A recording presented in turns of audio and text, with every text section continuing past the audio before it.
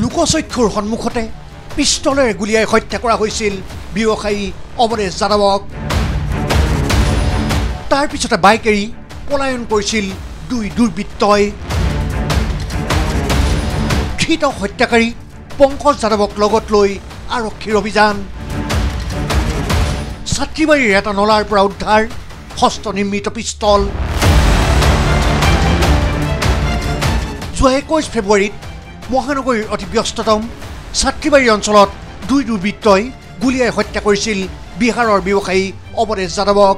এই হত্যাকাণ্ডৰ লগত জড়িত এজন দুৰ্বৃত্ত পংকজ কুমাৰ যাদৱক ইতিমধ্যেই বিহাৰৰ বেগুচৰাই জিলাৰ পৰা গ্ৰেপ্তাৰ কৰিছিল মহানগৰ আৰক্ষীয়ে। ধৃত পংকজ যাদৱক লগত লৈ আজি হত্যাকাণ্ডত ব্যৱহৃত পিষ্টলটো উদ্ধাৰৰ বাবে আৰক্ষীয়ে অভিযান চলায়।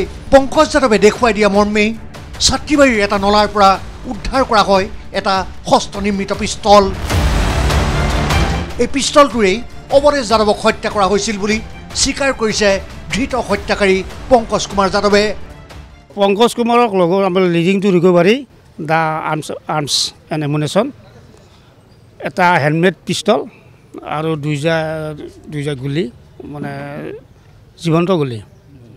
গুলিকেইটা নাই কিয় মানে একেবোৰ দিছে মানে কিয় নাই গম পোৱা নাই। আমি এক্সামান কৰিলে গম পাম কিন্তু দুটা গুলি পোৱা গৈছে আৰু পিষ্টলটো হেণ্ডমেড পিষ্টল তো বিহাৰৰ পৰা আনিছিল এইটো গম পোৱা গৈছে।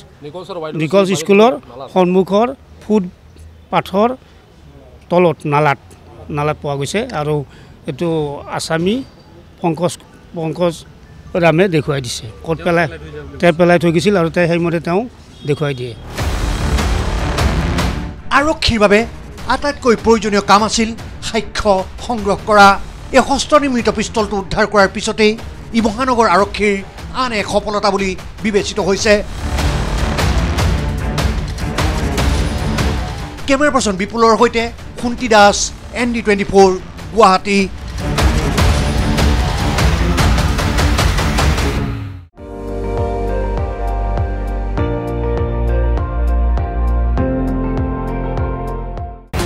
আপুনি চাই আছে এন ডি টুৱেণ্টি ফ'ৰ।